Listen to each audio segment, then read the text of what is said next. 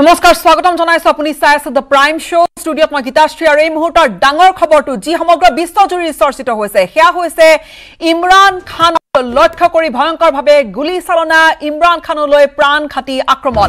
ইমৰান খান পাকিস্তানৰ প্ৰাক্তন প্ৰধানমন্ত্ৰীগৰাকী বৰ্তমান তেওঁ সুস্থ বুলি জনা গৈছে যদিও তেওঁ কিছু ষ্টেবল বুলি জনা গৈছে যদিও তেওঁৰ ওপৰত হ'ল এই প্ৰাণ ঘাটি আক্ৰমণ। ইমৰান খানলৈ লক্ষ্য কৰি চাৰিবাৰকৈ দুৰ্বৃত্তই চলাইছিল গুলী চাৰিবাৰ দুৰ্বৃত্তই গুলী চালনা কৰিছিল। এই মুহূৰ্তত কিছু ভিজুৱেলছ কিছু ফটো দেখা গৈছে। সেই গুলী চালনাৰ ঘটনাৰ ঠিক পিছ মুহূৰ্তৰ এই কিছু দৃশ্য।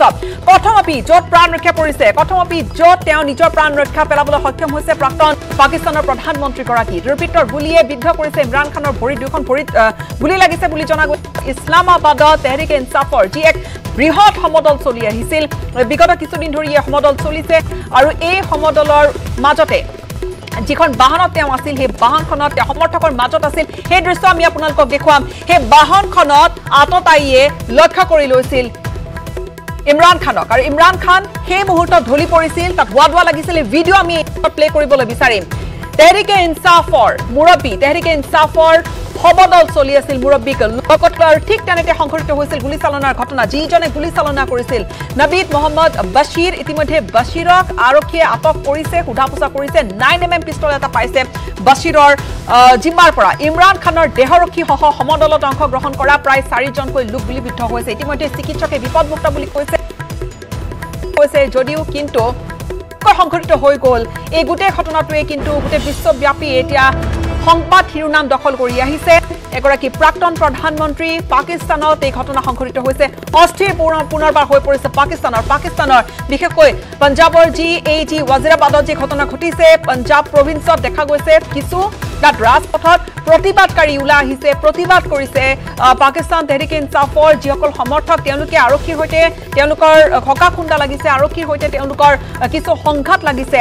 আৰু প্ৰাক্তন ক্ৰিকেটাৰ তথা পাকিস্তানৰ প্ৰাক্তন প্ৰধানমন্ত্ৰী ইমৰান খানক ততাতৈয়াকৈ ঘটনাৰ পিছতে এই ধৰণে চিকিৎসালয়লৈ লৈ যোৱা হৈছিল। মুহূৰ্তত সেই দৃশ্য আমি দেখুৱাইছো আৰু লগতে দেখুৱাইছো কি ধৰণে মুহূৰ্ততে দুৰ্বৃত্তক আততায়ীক মুহূৰ্ততে গ্ৰেপ্তাৰ কৰা হৈছিল কৰায়ত্ব কৰা হৈছিল আৰু যি কনফেশ্যন দিছে যি স্বীকাৰোক্তি দিছে কেমেৰাৰ সন্মুখত নবীদ বাছিৰে সেই কথাখিনি আমি আপোনালোকক আগবঢ়াম।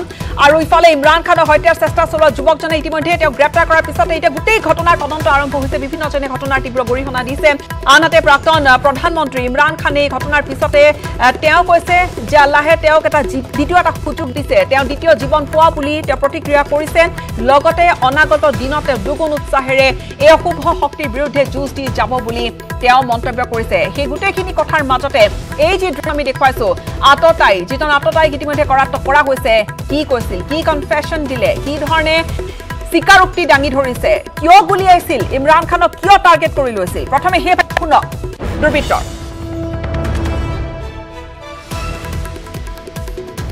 अच्छा, ये बताओ कि ये तुमने काम क्यों किया है? अस्सलाम वालेकुम हाँ ये सर मैंने इसलिए किया है कि ये लोगों को गुमराह कर रहा था इमरान खान। और मुझसे ये चीज़ देखी नहीं गई। और मैंने इसको मार दिया। मारने की कोशिश की पूरी मारने की कोशिश की कि मैं इसको मारूं सिर्फ़ और सिर्फ़ इमरान खान को और किसी को नहीं। ये तुमने क्यों ये सोचा ये? ये मैंने सोचा उधर अजान हो रही है उधर डेक लगा के शोर कर नहीं, ये तुमने अचानक- को सोच के मेरे जमीर में ये चीज़ अच्छा नहीं माना। अचानक फैसले किए या पहले फैसला Actually, a development that just took place as I was coming to this uh, briefing. Um, this is uh, something that we are uh, closely keeping an eye on and we'll continue to monitor the ongoing developments. But I don't have anything beyond that to say because it is just a developing story. Actually, a development that just took place as I was coming to this uh, briefing. Um, this is uh, something that we are uh, closely keeping an eye on and we'll continue to monitor the ongoing developments. But I don't have anything beyond that to say because it is just a developing story.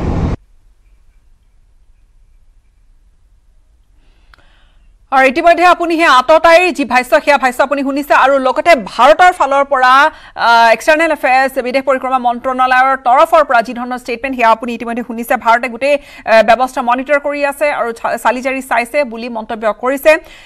Ministry of external এফেয়াৰ্ছৰ ফালৰ পৰা সেই statement দিয়া হৈছে। কিন্তু তাৰ পূৰ্বে পুনৰবাৰ কি কনফেশ্যন কৰিছিল সেয়া পুনৰবাৰ আপোনালোকক এবাৰ শুনাম। কিয় লক্ষ্য কৰি লৈছিল ইমৰান খানক কিয় গুলিয়াবলৈ বিচাৰিছিল কি কৈছিল সেই আততায়ীয়ে পুনৰ এবাৰ আপোনালোকক শুনাবলৈ বিচাৰিম।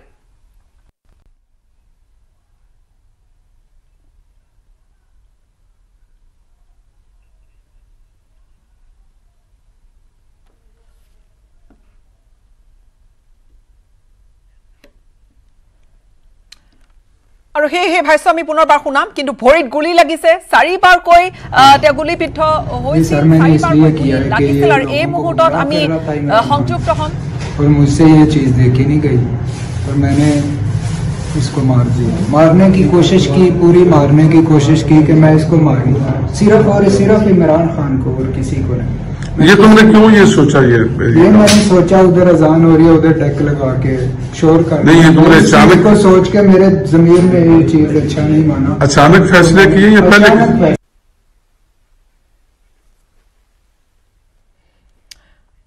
আৰু সেয়া ঘপককৈ লোৱা এটা সিদ্ধান্ত বুলি কৈছে আৰু বিপথে পৰিচালিত বুলি কৈছে। বিপথে পৰিচালিত কৰি আছিল জনসাধাৰণক ইমৰান খানে আৰু সেইবাবে গুলীচালনা কৰিছিল বুলি যিজন আততায়ীয়ে তেওঁ ইতিমধ্যে আততায়ীয়ে কেমেৰা আগত দিছে। স্বীকাৰোক্তি আৰু এই মুহূৰ্তত আমি গোটেই ঘটনাটোৰ সবিশেষ আমি কথা পাতিম।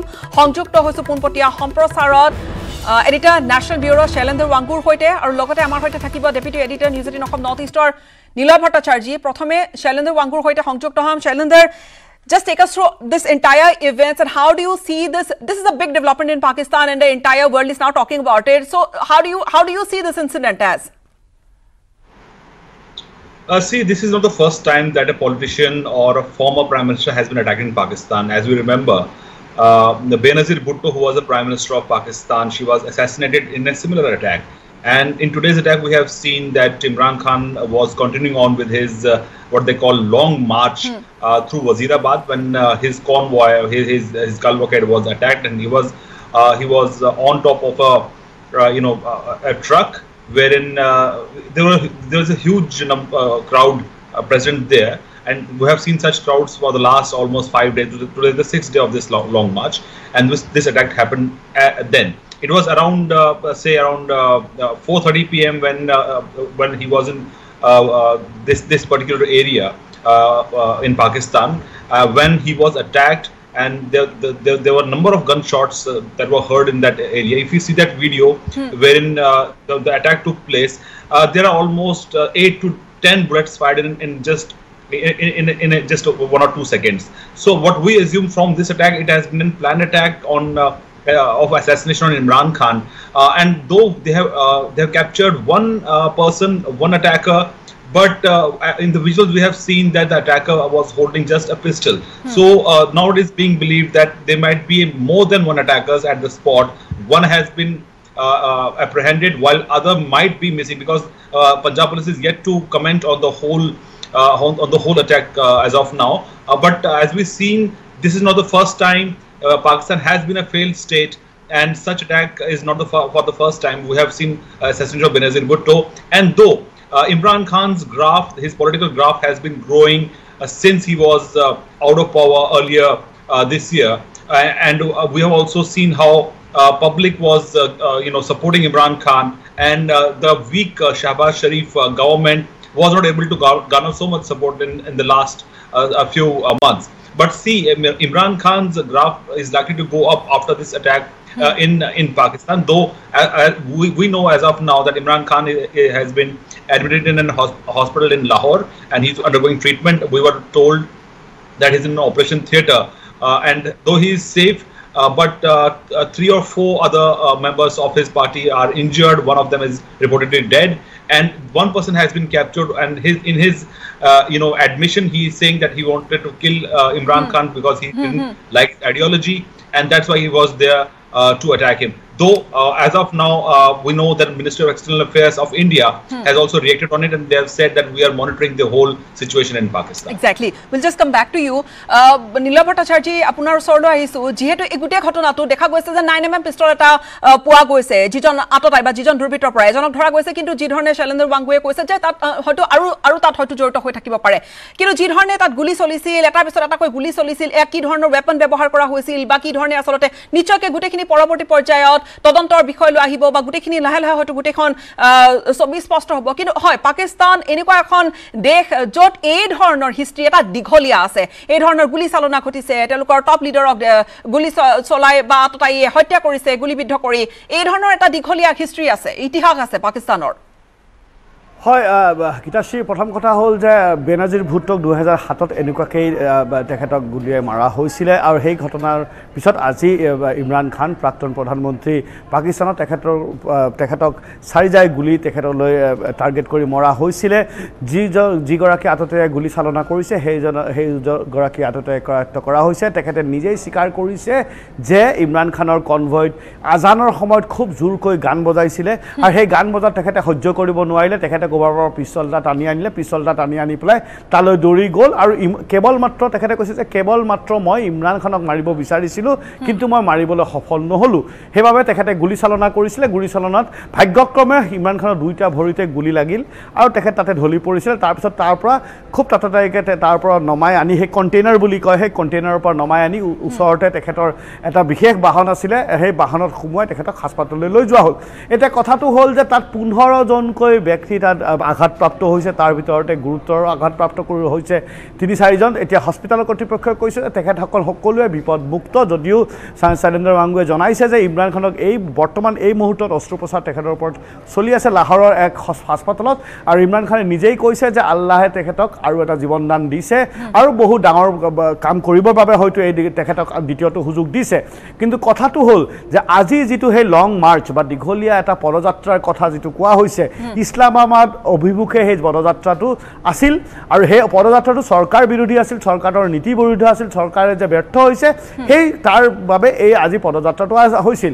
এই পদযাত্ৰাটো লৈ পেলাই জলপলগন পৰা বহু দিনৰ পৰাই চলি আছিলে টুইটত টুইটাৰ যদি আপুনি ফ'ল' কৰে তেতিয়াহ'লে টুইটত কিন্তু কথা কটাকটি চলি আছিলে। বহুতে কৈছিলে যে এই পদযাত্ৰাটো হয়তো কোনোবা কোনোবা এটা ঠাইত গৈ পেলাই ৰক্তাক্ত এটা এটা পদযাত্ৰালৈ এটা পৰিণত হ'বও পাৰে বা পিছফুলি পিছফুলিও হ'ব পাৰে। কিন্তু ইমান দেৰিলৈকে গধূলি সেই ঘটনাটোৰ আগলৈকে গোটেই পদযাত্ৰাটো কিন্তু একেবাৰে শান্তিপূৰ্বকে আছিলে।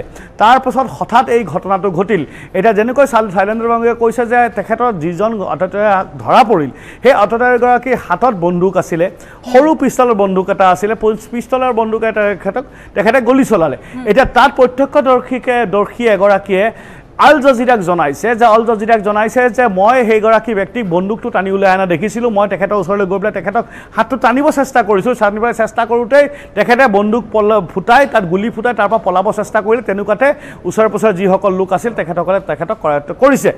এতিয়া সেই হ'ল গোটেই ঘটনাটো। তেখেতে আৰু এতিয়া ইয়াৰ ইয়াৰ পিছত এতিয়া তাৰিখে ইনচাফৰ আজি গোটেই ৰাতিজোৰা এটা তেখেতসকলৰ কাৰ্যসূচী আছে তেখেতসকলে ৰাজপথত ওলাই আহিব তেখেতসকলে ৰাজপথত দেখা গৈছে পঞ্জাৱ প্ৰভিন্সৰ বিভিন্ন ঠাইত ৰাজপথলৈ ওলাই আহিছে কৰ্মী সমৰ্থকসকল। মই আপোনাৰ আপোনাৰ ওচৰলৈ আহিম নীলা ভট্টাচাৰ্য এই মুহূৰ্তত শৈলেন্দ্ৰ বাংকু আমাৰ সৈতে আছে।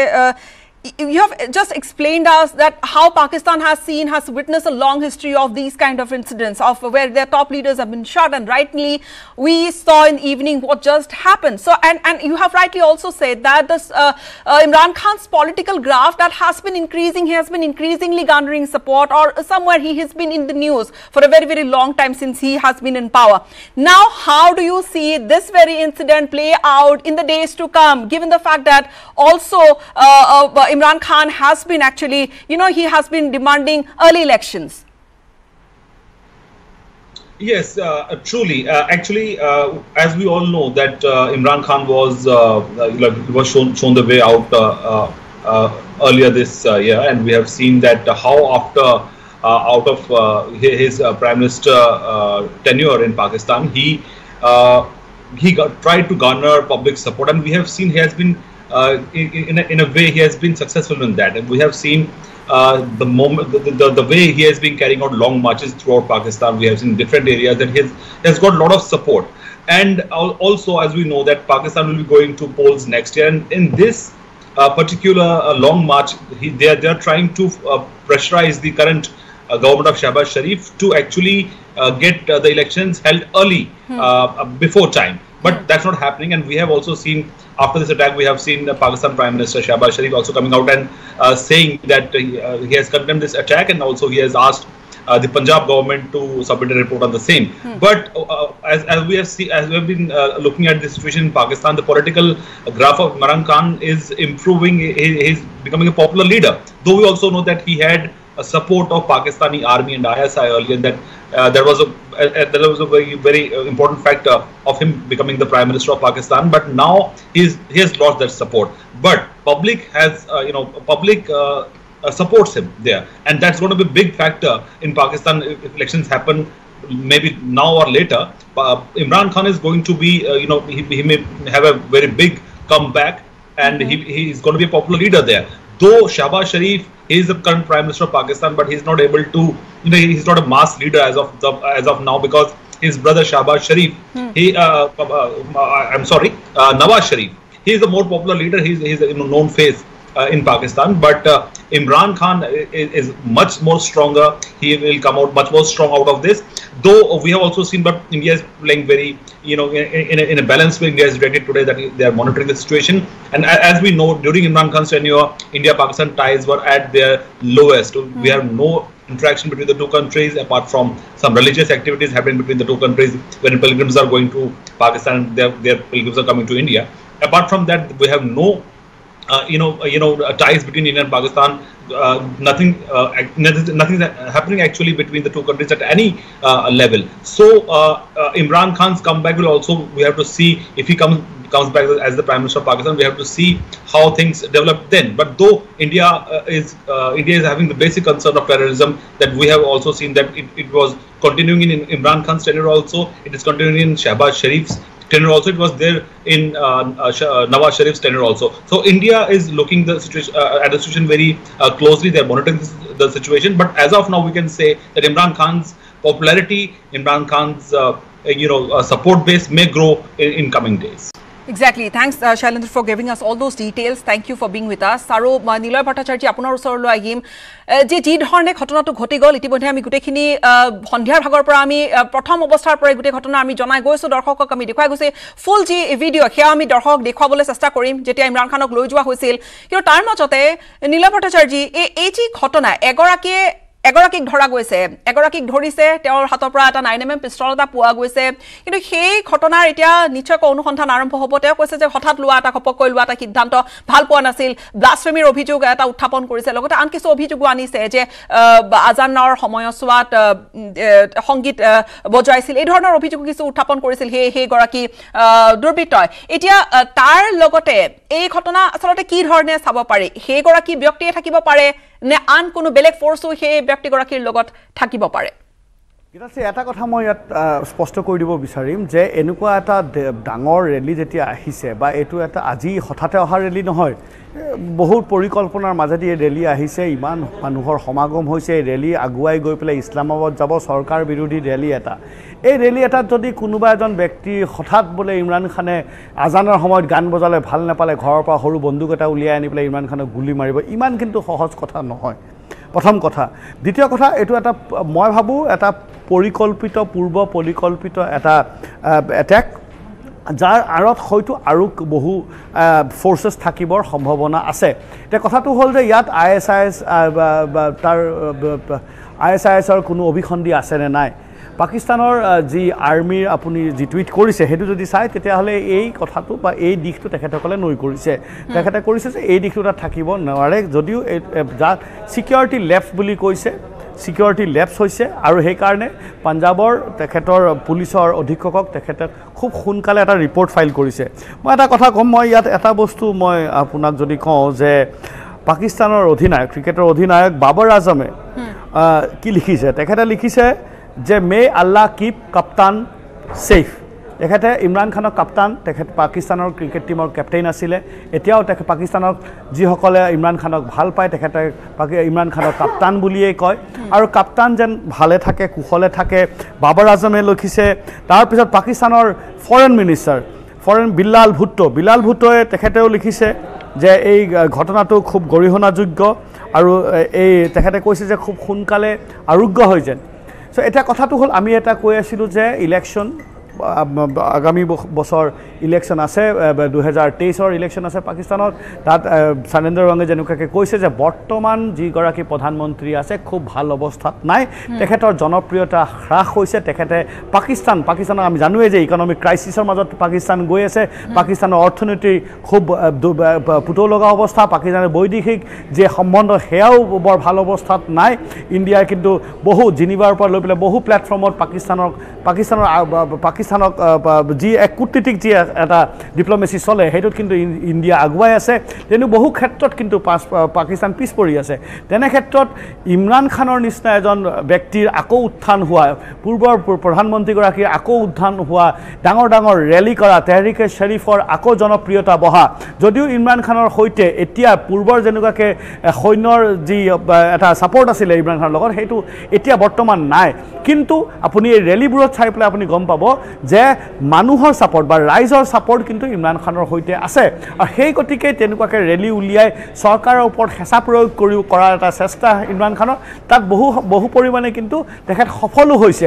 আৰু এনেকুৱা এটা যাত্ৰাত আহি পেলাই তেখেতক এটেক কৰি দিয়াৰ পিছত আজি যেতিয়া তেহৰিকে শ্বৰীফে গোটেই ৰাতি ৰাজ্য দেশজুৰি এটা প্ৰতিবাদ সাব্যস্ত কৰিব ৰাজপথত জুই জ্বলোৱাৰ কথা আছে ৰাজপথ বন্ধ কৰি দিয়াৰ কথা আছে এইটো এটা আৱেগ। এতিয়া আৱেগ আৰু আৰু আৱেগৰ আৰু আৰু বহিঃপ্ৰকাশ হ'ব আৰু আৰু আপুনি কিছুমান ভাইলেণ্ট বা প্ৰটেষ্ট আপুনি পাকিস্তানত দেখা পাব। কিন্তু যেতিয়া লাহে লাহে আৱেগ কম হৈ আহিব, তেতিয়া কিন্তু এই যিটো চিম্পেথি এই চিম্পেথিৰ কিন্তু মানে পজিটিভ ছাইডটো বা লাভটো ইমৰান খানে পাব। ইমৰান খানৰ এই ৰাজনৈতিক যি এটা উত্থান হৈছে সেই কেৰিয়াৰ গ্ৰাফটো বা ৰাজনৈতিক যিটো গ্ৰাফ সেই গ্ৰাফটো আৰু ওপৰলৈ লৈ যোৱাত কিন্তু এই আজি তেখেতৰ ওপৰত যি আক্ৰমণ হৈছে এই আক্ৰমণে বহু পৰিমাণে তেখেতক সহায় কৰিব বুলি এই ৰাজনৈতিক মহল বা পলিটিকেল এনালিষ্টিকসকলে তেখেতসকলে ব্যক্ত কৰিছে যে হয় ইমৰান খানত এইখিনিতে কিন্তু তেখেতৰ জনপ্ৰিয়তা মাজতে অলপ হ্ৰাস পাইছিলে। তাৰপিছত তেখেতৰ ওপৰত বহু অভিযোগ অনা হ'ল। তাৰপিছত তেখেতে দেশৰ পৰা ওলাই যাবলগীয়াও হ'ল আকৌ উভতি আহিল। অহাৰ পিছত তেখেতে লাহে লাহে আকৌ নিজৰ দলটোক একত্ৰিত কৰি পেলাই লাহে লাহে আকৌ মানুহৰ মাজলৈ যোৱাৰ চেষ্টা। আৰু আজি তেখেতে এটা ডাঙৰ ফ'ৰ্চ তাৰিখে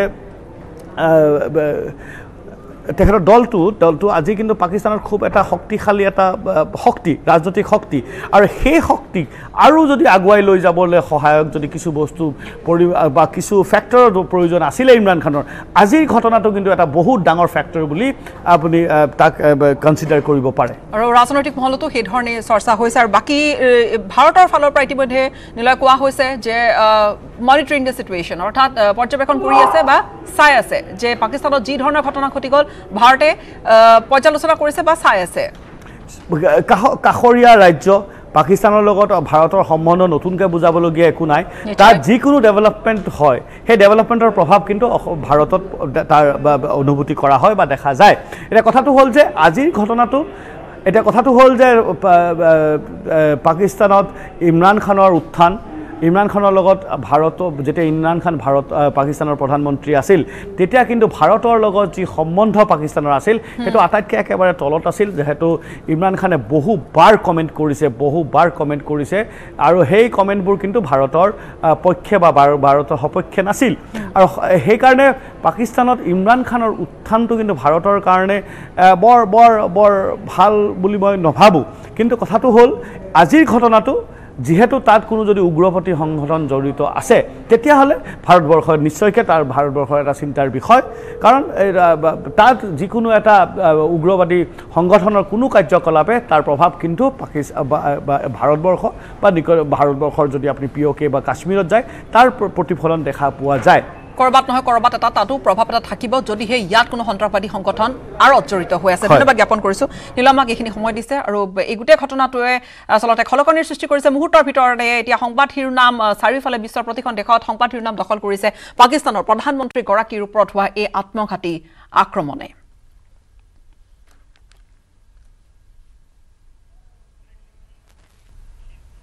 আৰু এই মুহূৰ্তত এক ব্ৰেকিং নিউজ আহি পৰিছে কাশ্মীৰত সন্ত্ৰাসবাদী নিৰ্বিচাৰ গুলীচালনা একাংশ শ্ৰমিকক লক্ষ্য কৰি ধাৰাসাৰভাৱে গুলীবৰ্ষণ কৰিলে সন্ত্ৰাসবাদীয়ে।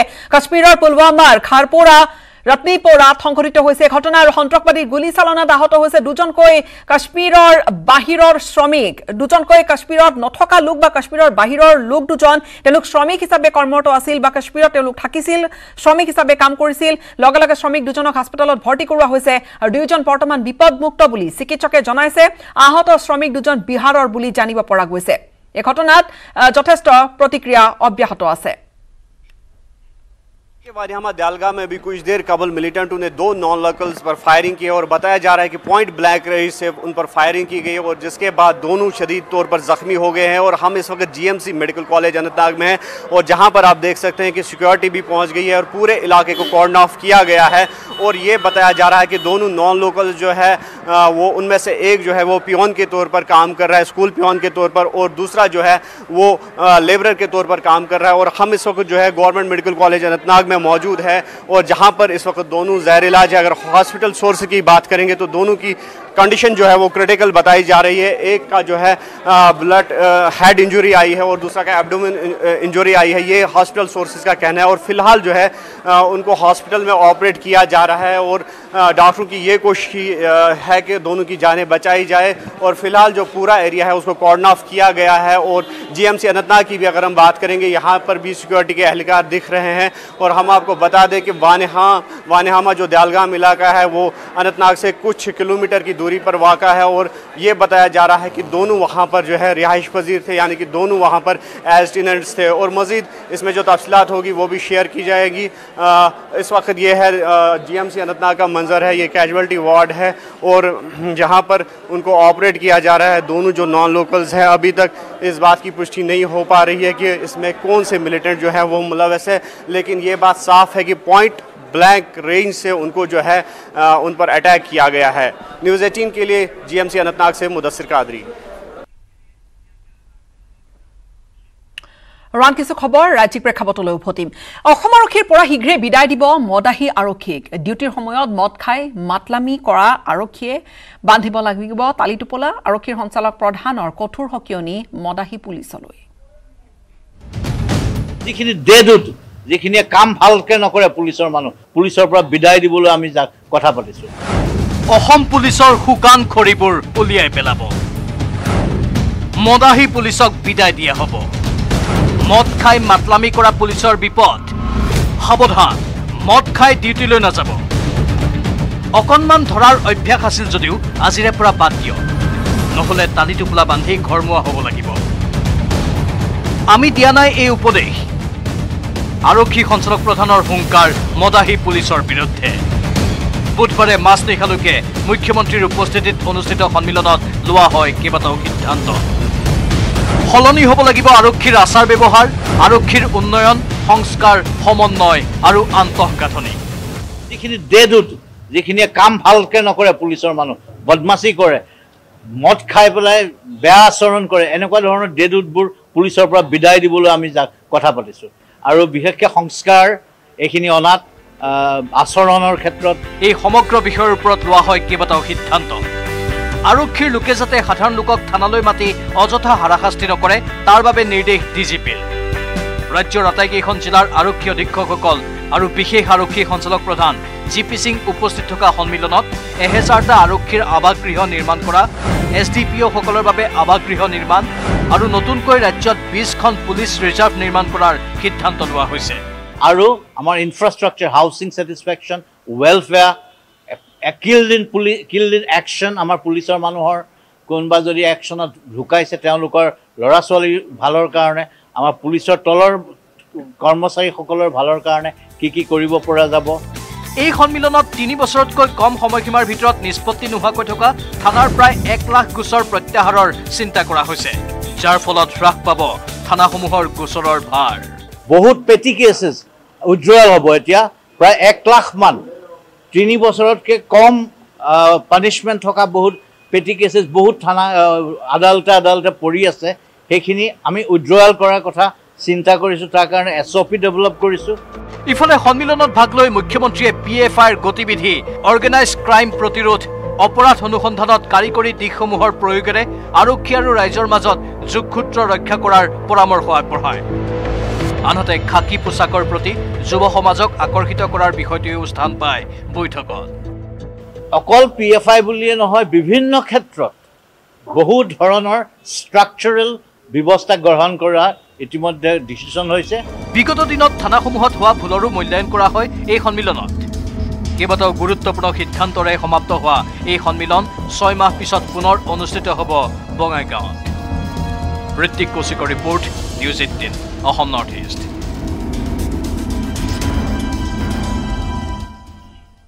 গৰ্ভৱতী মহিলাক চিকিৎসকৰ আক্ৰমণ। আক্ৰমণ কৰিলে পৰিয়ালৰ লোককো আৰু ঘটনাক লৈ নিশা শিলচৰ মেডিকেল কলেজ হাস্পতালত সৃষ্টি হ'ল এটা উত্তপ্ত পৰিস্থিতিৰ। গৰ্ভৱতী মহিলাগৰাকীক শিলচৰ মেডিকেল কলেজত ভৰ্তি কৰোৱাইছিল পৰিয়ালৰ লোকে কিন্তু ৰোগীক আত্মীয়ক আঁতৰি যাবলৈ কোৱাৰ পিছতে সৃষ্টি হৈছিল সংঘাতৰ আৰু অভিযোগ অনুসৰি তেওঁক মজিয়াত থাকিবলৈ দিয়া হৈছিল। ইয়াৰ পিছতে চিকিৎসকৰ দলে আক্ৰমণৰ লক্ষ্য কৰি ল'লে। মহিলাগৰাকীক লগতে পৰিয়ালৰ লোকক পৰিয়ালে এই গুৰুতৰ অভিযোগ আনিছে। কনিষ্ঠ চিকিৎসকৰ বিৰুদ্ধে। আৰু ঘটনাৰ সময়ত চিকিৎসক আৰু আত্মীয়ৰ মাজত হতাহতি লাগিছিল। চিকিৎসকৰ দলে হাতে হাতে চোকা অস্ত্ৰ লৈ ওলাই অহাৰো আনকি অভিযোগ আনিছে আত্মীয়ই। পিছত ঘটনাস্থলীত আৰক্ষী উপস্থিত হৈ পৰিস্থিতি নিয়ন্ত্ৰণ কৰে লগতে এজন কনিষ্ঠ চিকিৎসকক আটক কৰিছে। দশটা দশটাৰ সময় তাৰ মা মাৰে ইয়া ডাক্তাৰে কইছে যে ইয় আপনারা বাইরে যাইন, আপনি বাইরে যাইন। তখন মায়ে কইছে যে, আমার মেয়ের কন্ডিশনটা খুব খারাপ, আমার এখানে থাকা লাগবো। হয়তো ডাক্তার গরম হয়ে গেছে। ডাক্তার গরম হয়ে গেছে, কইছে হ্যাঁ আপনি ডাক্তার নামি ডাক্তার, তে আপনি ডেলিভারি করাইলেন কইয়া পেশেন্টর সব স্যালাইনের লতুত খুলি লইছে, খুলিয়া পেশেন্টর যাইবার সময় পেশেন্টের লাতুত মারিয়া ডেঙ্গিয়া গেছে এবং এরপরে তারা খুব সিয়ার চিৎকার দিছে যে, স্যার, আমার ব্লিডিংর আপনি এই ব্লিডিংর মধ্যে আপনি একটা কিছু ব্যান্ডেজ দেন। তারা দিছে না, এরপরে সঙ্গে সঙ্গে তাই তাই হাজব্যান্ডরে ফোন করছে। হাজব্যান্ডরে ফোন করার পরে হাজব্যান্ড যখন দৌড়িয়ে আইসি আইয়া জিজ্ঞেসে কিতা হয়েছে এমন সময় মেডিকেল কলেজের যত স্টুডেন্ট আছে, সব সব বহুত স্টুডেন্টে আইয়া ওই তাই হাজব্যান্ডে খুব মারধর করছে। মারধর করার পরে তাই কিতা করছে, তারা কোনো রকম মেডিকেল থেকে বাইরিয়া প্রাণর বই এখান থেকে কোনো রকম বাঁচিয়া বাইরিছে। বাইরিয়া তারা থানাতে ইয়া এফআইআর করছে।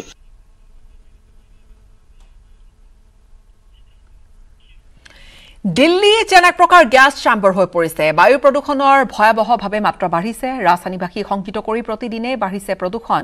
ভয়াৱহ প্ৰদূষণ ৰোধৰ বাবে চৰকাৰক আহ্বান জনাইছে পৰিৱেশ কৰ্মীয়ে। Gas chamber Delhi. চাৰিওফালে কেৱল ঢলি কলি পৰিৱেশ। উশাহ লবলৈও এতিয়া কঠিন হৈছে দিল্লীত। দিল্লীৰ বায়ু হৈ পৰিছে। ভয়াৱহভাৱে দূষিত। কুঁৱলী সদৃশ এক ঘন আচ্ছাদনে চানি ধৰিছে ৰাজধানী। এয়া স্মগ দৃশ্য দেখিয়ে অনুমান কৰিব পাৰিছে কি ভয়াৱহ হাৰত প্ৰদূষিত হৈছে দিল্লীৰ বাতাবৰণ। আজি পুৱাই শোৱাপাতি এৰিয়েই দিল্লীবাসীয়ে অনুভৱ কৰে এটা গেছ চেম্বাৰ সদৃশ পৰিস্থিতি। আজিৰ এয়াৰ কোৱালিটি ইণ্ডেক্স তিনিশ ছয়ানব্বৈ যি অতি ভয়াৱহ হিচাপে বিবেচিত। কণ কণ শিশুৰ পৰা বৃদ্ধলৈকে। সকলোৱে সন্মুখীন হৈছে জটিল পৰিস্থিতিৰ। স্বাস্থ্যৰ অৱনতি ঘটিছে। ঘৰৰ বাহিৰলৈ ওলোৱাটোৱে হৈ পৰিছে প্ৰত্যাহ্বানপূৰ্ণ। নিজৰ সন্তানক স্কুললৈ পঠিয়াবলৈও দহ বাৰ ভাবিছে প্ৰতিগৰাকী অভিভাৱকে। মাস্ক লগানা বহুত জৰুৰী হৈ হ'ব বিনা মাস্কে তো মুস্কিল মাস্কেতো মুস্কিলে বাহিৰ নিকালনা। आजकल इतना तबीयत खराब हो रहा है ना बच्चों का कोल्ड ये सब इसी वजह से हो रहा है पॉल्यूशन है बाहर ज़्यादा। प्रॉब्लम्स तो बहुत होती हैं बच्चों को बीमारियाँ बनी ही रहती हैं। खांसी जुकाम है अदर और भी बीमारियाँ हैं जो कि बच्चों को होती ही रहती है कभी बच्चे सही नहीं रहते इसकी वजह से। पॉल्यूशन की वजह से एक तो उनको बाहर ज़्यादा नहीं खेलने दे जा, जा सकता जिसकी वजह से उनमें बहुत प्रॉब्लम आती है कभी उनको छींक बहुत ज़्यादा आती है। दिल्ली वायु एटिया दूषित বিগত কিছুদিন ধৰি দেশৰ ৰাজধানীৰ পৰিৱেশ জটিলৰ পৰা জটিলহে হৈ গৈ আছে। গেছ চেম্বাৰ হৈ পৰিছে দিল্লী। প্ৰশ্ন হয় কোন দিশে Guwahati? Bureau' report news eighteen Assam north east.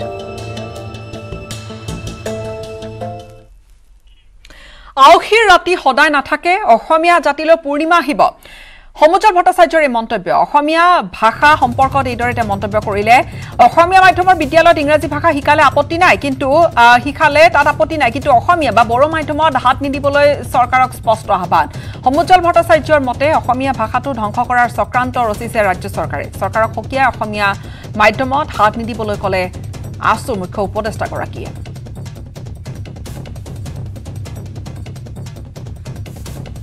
মাধ্যম আৰু আমাৰ জনজাতীয় আৰু জনগোষ্ঠীয় ভাষাত হাত নিদিব। আৰু আমাৰ মাধ্যম ইয়াত অসমত অসমত অসমীয়া বড়ো মাধ্যমেই থাকিব লাগিব আৰু জনজাতীয় জনগোষ্ঠীয় ভাষাৰে বিকাশ হ'ব লাগিব। আৰু আজিৰ এই মাতৃভাষা মাধ্যমৰ এই স্বৰ্ণীল যাত্ৰাত অসম চৰকাৰক এই সম্পৰ্কত আমাৰ স্পষ্ট সতৰ্কবাণী দিছোঁ যাতে মাধ্যমত হাত নিদিয়ে। আমাৰ শ্ৰেণীকোঠা ভাল হ'ব লাগে আকৰ্ষণীয় কৰিব লাগে বিদ্যালয়বোৰ ভালকৈ গঢ়ি তুলিব লাগে আন্তঃগাঁথনি ভাল হ'ব লাগে সেইটো চৰকাৰৰ দায়িত্ব। সেই কামটো কৰি দেখুৱাওক।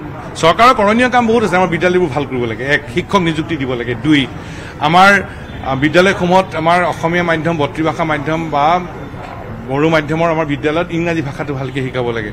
এইবোৰহে মূল বিষয়।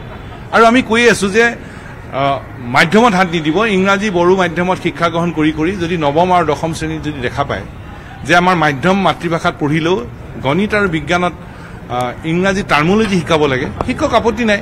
আমাৰ নতুন শিক্ষানীতিয়ে কৈছে বাইলিংগুৱেল কিতাপ চপাব লাগে। মাধ্যম কিন্তু বাইলিংগুৱেল হ'ব লাগে বা মাধ্যম দুটা হ'ব লাগে কোৱা নাই। হেঁচেল সমুজল ভট্টাচাৰ্যৰ মন্তব্য। আনহাতে আন কিছু খবৰ। তেলেংগানাত ৰাহুল গান্ধীয়ে নৃত্য কৰিছে। ৰাজপথত শ শ লোকৰ সন্মুখত বিভিন্ন ৰূপত দেখা গৈছে কংগ্ৰেছৰ যুৱৰাজক আৰু এইবাৰ অন্য এটা ৰূপ।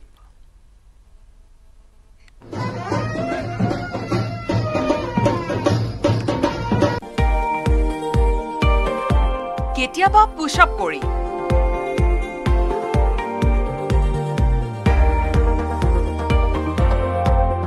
কেতিয়াবা মাতৃয়ে দিয়া ছানস্ক্ৰীনৰ কথা কৈ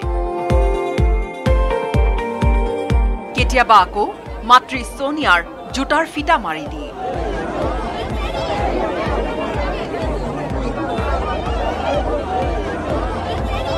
কংগ্ৰেছৰ যুৱৰাজ ৰাহুল গান্ধীয়ে এনেদৰে অব্যাহত ৰাখিছে ভাৰত জোড়ো যাত্ৰা। কিন্তু এইবাৰ ৰাহুল গান্ধীৰ অন্য এক ৰূপ। ৰাহুল গান্ধীয়ে এইবাৰ কৰিলে নৃত্য।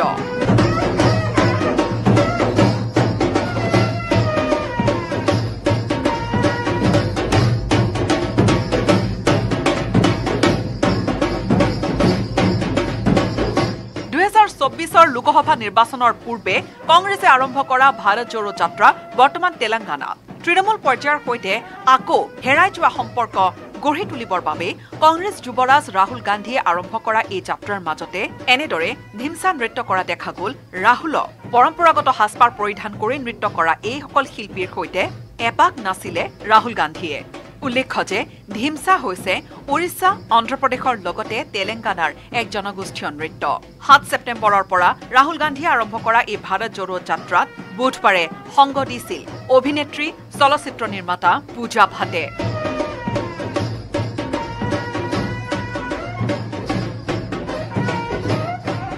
bureau' report news eighteen Assam north east.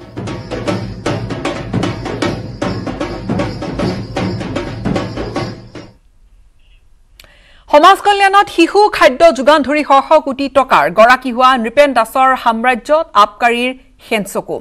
ক্ৰমাগত দুটা দিন ধৰি আয়কৰৰ হেনচকু। ক্ৰমাগত দুটা দিন ধৰি নৃপেন দাসৰ ঘৰ আৰু কাৰ্যালয়ৰ লগতে ব্যৱসায়িক প্ৰতিষ্ঠানত তালাচী চলাইছে আয়কৰে জব্দ কৰিছে বহুখিনি নথি পত্ৰ নৃপেন দাসৰ সম্পত্তিত আয়কৰৰ হেনচকু। দ্বিতীয় দিনাও অব্যাহত অভিযান। নৃপেন দাসৰ ঘৰ। কাৰ্যালয় ব্যৱসায়িক প্ৰতিষ্ঠানত গোপন ধন বিচাৰি ধাৰাবাহিক অভিযান আয়কৰ বিভাগৰ। সমাজ কল্যাণ বিভাগৰ সামগ্ৰীৰ যোগানত কোটি কোটি টকাৰ দুৰ্নীতি কৰাৰ অভিযোগ নৃপেন দাসৰ বিৰুদ্ধে।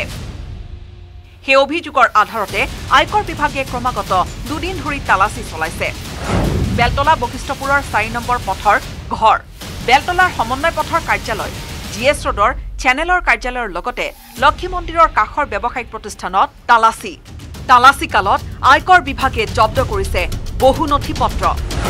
সমাজ কল্যাণ বিভাগত শিশু খাদ্য যোগানৰ নামত কোটি কোটি টকা আত্মসাত কৰি সম্পত্তিৰ পাহাৰ গঢ়াৰ অভিযোগত প্ৰধানমন্ত্ৰীৰ কাৰ্যালয়লৈ কোনো অজ্ঞাত ব্যক্তিয়ে পত্ৰ প্ৰেৰণ কৰাৰ পিছতে এইদৰে আয়কৰে মাৰাথন তালাচী চলাইছে নৃপেন দাসৰ ব্যৱসায়িক সাম্ৰাজ্যত আয়কৰৰ এই অভিযানৰ অন্ততহে পোহৰলৈ আহিব অভিযোগৰ সত্যাসত্য ভাস্কৰ জ্যোতি হাজৰিকাৰ report news eighteen Assam north east.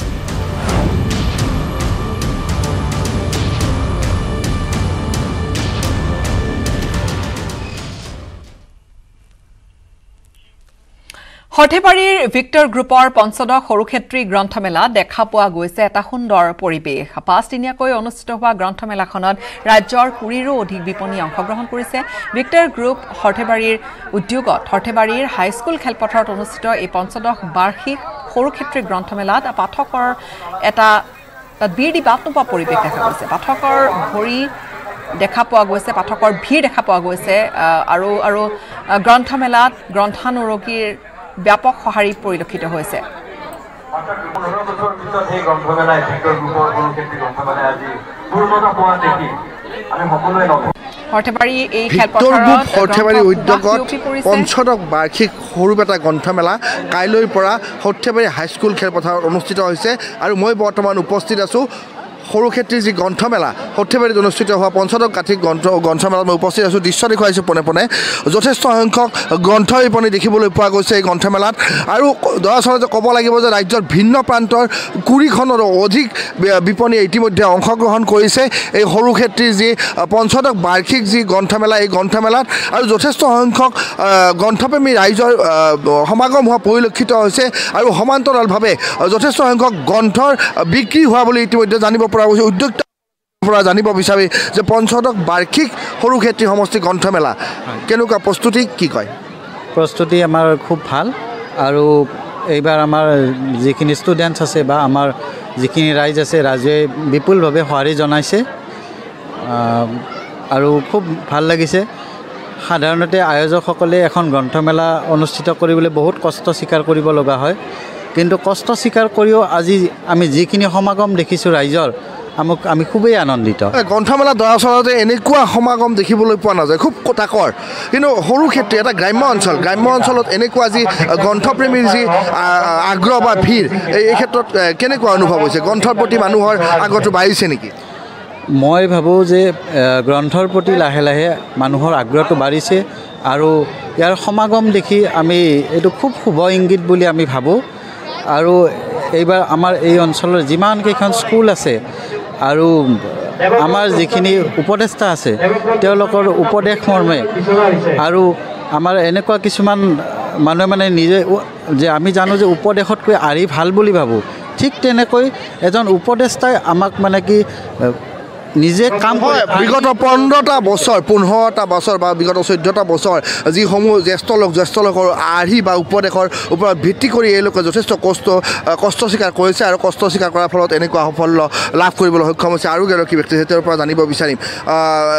কিমানমান গ্ৰন্থ বিপণী ইয়াত আছে আপোনালোকৰ? আমাৰ পঁচিছটামান ষ্টল আহিছে গ্ৰন্থ বিপণী পঁচিছটামান আছে।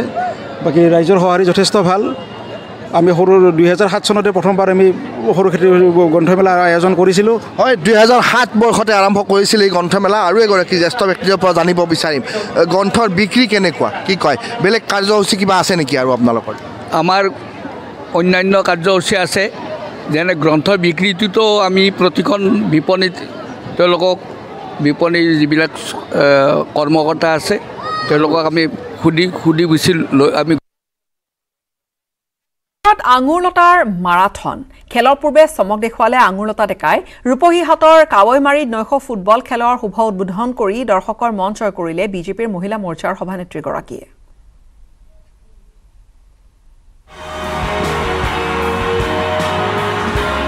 জনাকীৰ্ণ নিশাৰ ষ্টেডিয়াম।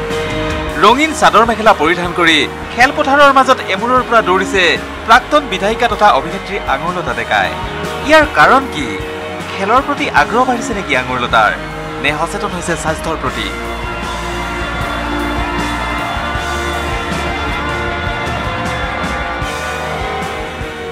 ৰূপহীহাটৰ কাৱৈমাৰীত এখন নৈশ ফুটবল খেলৰ শুভ উদ্বোধন কৰিলে বিজেপি নেত্ৰী আঙুৰলতা ডেকাই।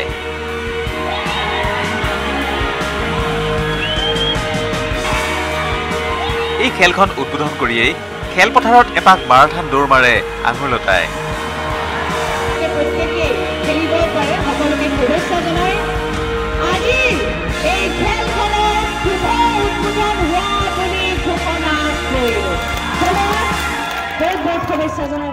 খেলুৱৈসকলৰ মাজত উপস্থিত থাকি প্ৰতিগৰাকী খেলুৱৈকে আঙুৰলতাই উৎসাহিত কৰি যায়। কাৰণ এই জেগাবিলাকত আগতে সেই খেলাৰ পৰিৱেশ নাছিলে আজিৰ পৰা বিছ বছৰ আগত বেলেগ ধৰণৰ পৰিৱেশ এটা আছিলে। আজি খেলৰ যিটো পৰিৱেশ আছে বা মাধ্যমটো আছে মই কাৱৈমাৰী আঞ্চলিক ক্ৰীড়া সন্থাক ধন্যবাদ জ্ঞাপন কৰিছোঁ। তেখেতসকলে প্ৰায় দুহেজাৰ এক চনৰ পৰা ইয়াতে প্ৰতিযোগিতা পাতি আছে। আৰু ইয়াৰ লগে লগে মই শুনি পেলাই খুব ভাল পাইছোঁ যে ইয়াতে এই খেলপথাৰতে খেলি পেলাই ইয়াৰ বহুত খেলুৱৈ নেশ্যনেল গেমছলৈকে গৈছে খেলিবলৈ আৰু হকীৰ টীম গৈছে ইয়াৰ পৰা ইণ্টাৰনেশ্যনেল খেলি আহিছে। গতিকে এনেকুৱা ধৰণৰ এটা পৰিৱেশ বা মাধ্যম পোৱাটো মই ভাবোঁ যে লোকেল আমাৰ যিসকল ব্যক্তি আছে তেওঁলোকৰ কাৰণে খুব সৌভাগ্য। ৰূপহীহাটৰ পৰা মুজাম্মিল হকৰ ৰিপৰ্ট অসম নৰ্থ ইষ্ট।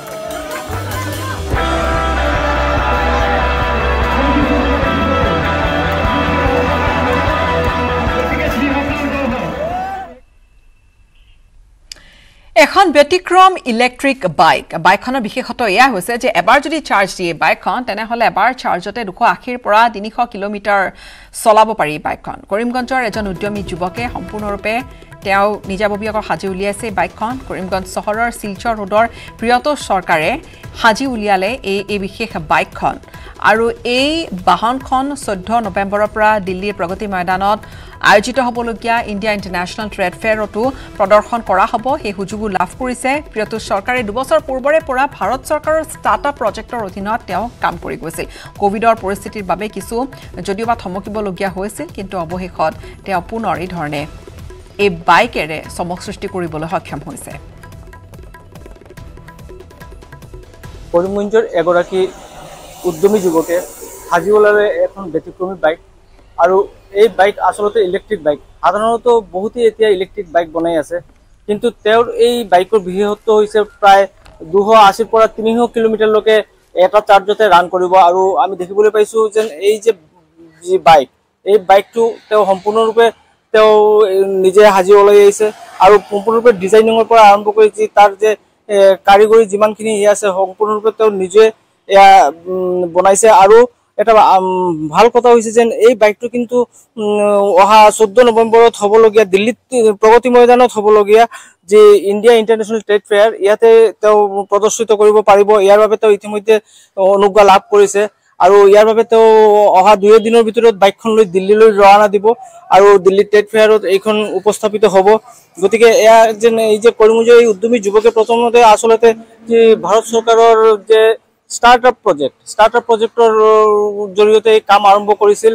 আৰু যিহেতু কৰোণা কাল আছিল কৰোণা কালৰ কাৰণে তেওঁ আৰু বহু উদ্যোগ আছিল তেওঁ কৰিব পৰা নাই। কিন্তু অৱশেষত কিন্তু তেওঁ এই বাইকৰ যি কাম সামৰিলে এইগৰাকী যুৱক তেওঁ হয়তো আমি কথা পাতিব চেষ্টা কৰিম। আপোনাৰ নামটো? মোৰ নাম প্ৰিয়ত চৰকাৰ। কেতিয়া মানে কেনেদৰে এইখন মাথাত আপোনাৰ চিন্তাধাৰা আহিলে? একচুৱেলি কি হ'ল ইলেক্ট্ৰিক ভেহিকলছটো এতিয়া গভৰ্ণমেণ্টেও বহুত প্ৰেচাৰ এইটো কৰি আছে পাৰ্চিউ কৰি আছে মানুহবিলাকে এনভাইৰমেণ্ট বচাব লাগে। কাৰণ পেট্ৰল দি পেলাই বহুত পলিউশ্যন হয়। এটাতো পেট্ৰলৰ দুটা এটা আছে এটা পলিউশ্যন প্লাছ গভৰ্ণমেণ্টৰ খৰচাও বহুত হৈ যায়।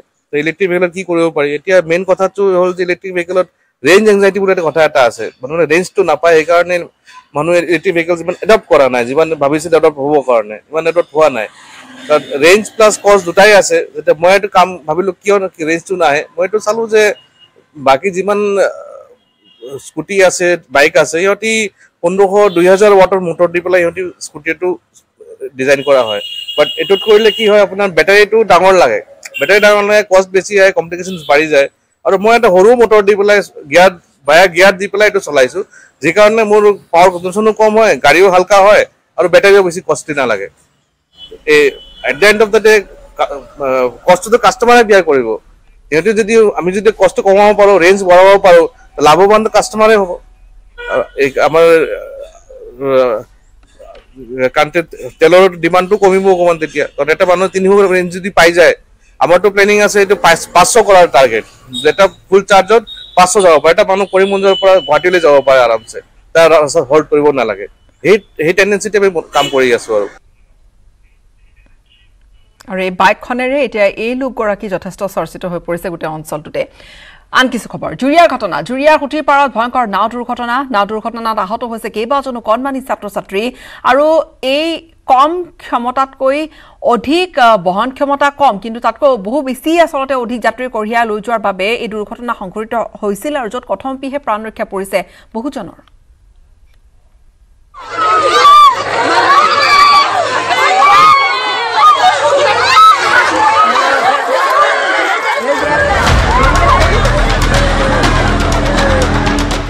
ভয়ংকৰ নাও দুৰ্ঘটনা কথম্পি প্ৰাণ ৰক্ষা পৰিল বিদ্যালয়ৰ ছাত্ৰ ছাত্ৰীৰ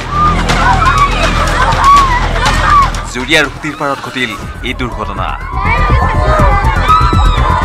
টুলুঙা নাৱত বহন ক্ষমতাতকৈ অধিক ছাত্ৰ ছাত্ৰীক লৈ ব্ৰহ্মপুত্ৰৰ এটি সুঁতি পাৰ হওঁতেই সুঁতিৰ মাজত হঠাৎ ডুব গৈছিল নাওখন। এই দুৰ্ঘটনাত কণ কণ ছাত্ৰ ছাত্ৰী পানীত ডুব যায় যদিও ওচৰৰ ৰাইজে সকলোকে নিৰাপদে উদ্ধাৰ কৰে।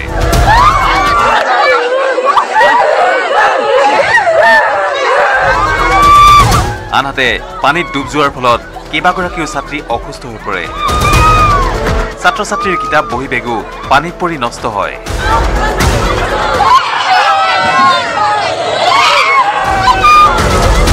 এই ঘটনাৰ বাবে সকলোৱে জগৰীয়া কৰিছে। নাৱৰ মালিকক। ঘটনাস্থলীত সুতিৰ পাৰ আৰক্ষী উপস্থিত হৈ আৰম্ভ কৰিছে তদন্ত।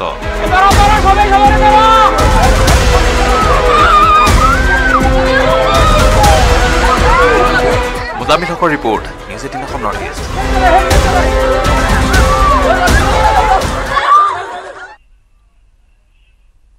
এটা ভয়ংকৰ দুৰ্ঘটনা। এখন বাহনৰ খুন্দাত উফৰি পৰিল এগৰাকী বাইক আৰোহী কিন্তু উফৰি পৰাৰ পিছতো সামান্যতমো আঘাত নাপালে ভুক্তভোগীয়ে। আচলতে এই গোটেই ঘটনাটো আছিলে এটা হত্যাকাণ্ডৰ চেষ্টা। স্বৰ্ণ ব্যৱসায়িক হত্যাৰ চেষ্টা গাড়ীৰে মহতিয়াই হত্যাকাণ্ডৰ পৰিকল্পনা। চি চি টিভিত আবদ্ধ ভয়ংকৰ দৃশ্য ঘটনাটো যোধপুৰৰ চাওক বাইক চলাই আহিছে এগৰাকী লোক। লোকজন এগৰাকী স্বৰ্ণ ব্যৱসায়ী।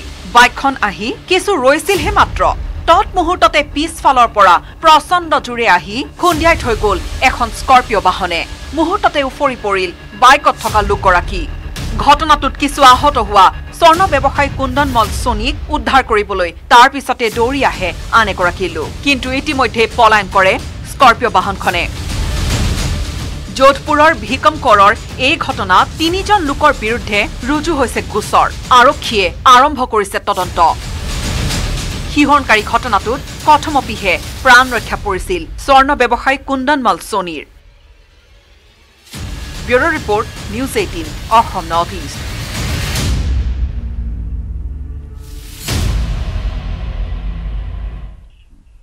আৰম্ভ হ'ল অসম সাহিত্য সভাৰ সভাপতি উপসভাপতি আৰু প্ৰধান সম্পাদক পদৰ বাবে ভোটদান প্ৰক্ৰিয়া। আজিৰে পৰা জিলা আৰু শাখা পৰ্যায়ত ভোটদানৰ বাবে বেলট কাকত সংগ্ৰহ প্ৰক্ৰিয়া আৰম্ভ হৈছে। মুঠ সাতশ চৌৰাশীগৰাকী সদস্যই নিৰ্ণয় কৰিব। নিৰ্বাচনত অৱতীৰ্ণ সোতৰগৰাকী প্ৰাৰ্থীৰ ভাগ্য। আৰম্ভ হ'ল আন এখন নিৰ্বাচনী ৰণ। প্ৰায় এমাহ জুৰি চলিব এই নিৰ্বাচন। আজিৰে পৰা আৰম্ভ হ'ল অসম সাহিত্য সভাৰ সভাপতি উপসভাপতি আৰু প্ৰধান সম্পাদক পদৰ বাবে ভোটদান প্ৰক্ৰিয়া। মেঘদূত ভৱনত স্থাপন হ'ল সাহিত্য সভাৰ বেলট বাকচ। আজিৰে পৰা জিলা আৰু শাখা পৰ্যায়ত ভোটদানৰ বাবে বেলট কাকত সংগ্ৰহ প্ৰক্ৰিয়া আৰম্ভ হৈছে।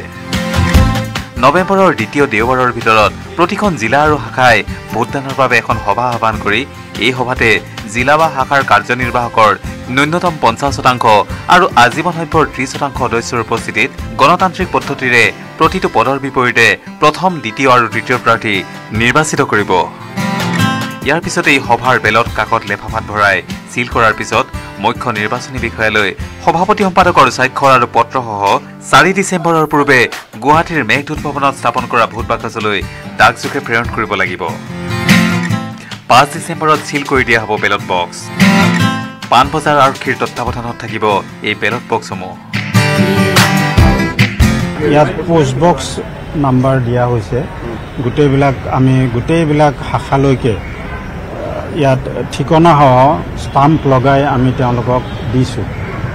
লেফাফা সেইটো তেওঁলোকে চিল মোহৰ মাৰি বন্ধ কৰি ইয়ালৈ পঠাই দিব পষ্টৰ দ্বাৰা। ডাক টিকটো লগাই দিয়া হৈছে। তেৰ তাৰিখে আমি এইটো খুলিম। তাৰ আগলৈকে তেৰ তাৰিখৰ ভিতৰত যিখিনি পোৱা যায় সেইখিনিহে গণ্য হ'ব। পাঁচ ডিচেম্বৰৰ পাছত আমাৰ চাৰি ডিচেম্বৰত বন্ধ হ'ব। বন্ধ হ'ব। পাঁচ ডিচেম্বৰত এইটো তেৰ নৱেম্বৰলৈকে ভোট গ্ৰহণ চলিব। তাৰপিছত তেওঁলোকে শাখাবিলাকৰ বাই পোষ্ট পঠাব।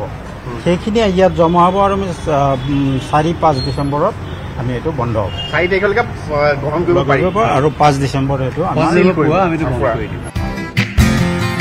উল্লেখযোগ্য ভোট সংগ্ৰহৰ পিছত নলবাৰীত অনুষ্ঠিত হ'বলগীয়া সপ্তম কাৰ্যনিৰ্বাহকতেই ভোট গণনা সম্পন্ন কৰা হ'ব যদিও বৰ্তমানলৈকে ইয়াৰ তাৰিখ নিৰ্ধাৰণ কৰা হোৱা নাই। মৌচুমী শৰ্মা বৰুৱাৰ report news eighteen Assam north east.